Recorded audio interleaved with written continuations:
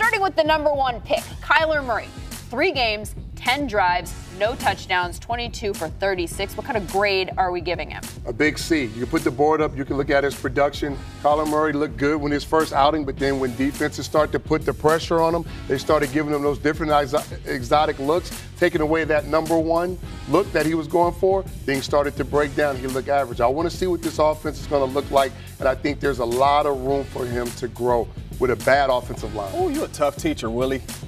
What are you I'm giving, giving him? him an A, uh, and this is the main reason why I'm giving him an A. Oh we was playing Jane the whole preseason. He didn't turn the ball over. He didn't take no unnecessary hits. When he made plays with his legs, he got down, he slid, got outside the pocket, made a couple good plays. It made some throws inside the pocket.